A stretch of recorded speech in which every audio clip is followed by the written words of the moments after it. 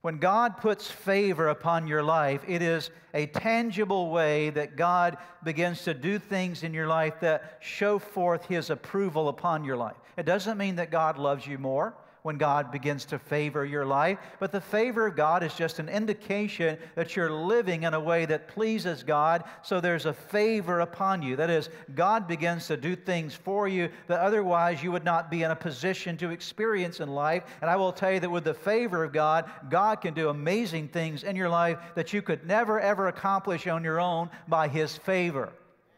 It doesn't mean He loves you more. It just simply means that you're living and walking in His favor. If you are a parent here today with multiple children, you understand that you love all of your children equally, right?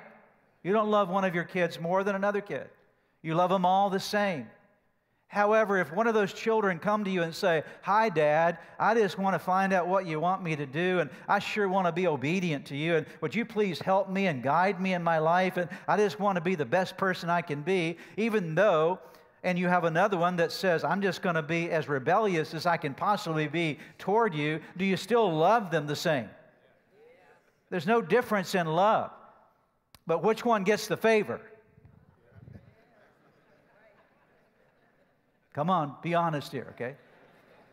the one that's walking in obedience, right? The one that's walking in a, in a sense of connectedness with you. The one that says, I'm leaning in to find out how I can be the best son or daughter I can possibly be. And so, again, it's not a matter of love, it's a matter of getting in position so God can favor you. And the Bible says that when you and I make the decision to be overcomers, God says, I love somebody with a spirit like that.